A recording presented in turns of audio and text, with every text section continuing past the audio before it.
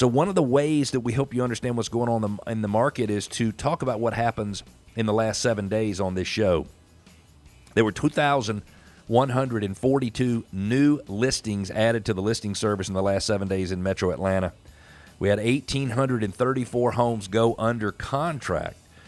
So 2,142 new listings, 1,834 homes that went under contract. That's a difference of about 300 homes. That means at the end of the week there was 300 more homes listed for sale in Metro Atlanta than there was seven days prior. That's a big deal. And you're not going to believe this, but there are 50%, five zero, 50% more houses listed for sale in Metro Atlanta as of the end of September than there were at the end of March. That is huge. For those of you who think, hey, you've been shut out of the market and you're not going to be able to get a good deal because you can't find sellers willing to negotiate with you, well, I believe there are 930 sellers who have their home actively listed for sale in Metro Atlanta, just the Metro Atlanta market, who have raised their hand saying, I might be more motivated than I originally thought. And the reason I say there are 930 of those is because there are 930 listings in the listing service that had a price decrease in the last seven days.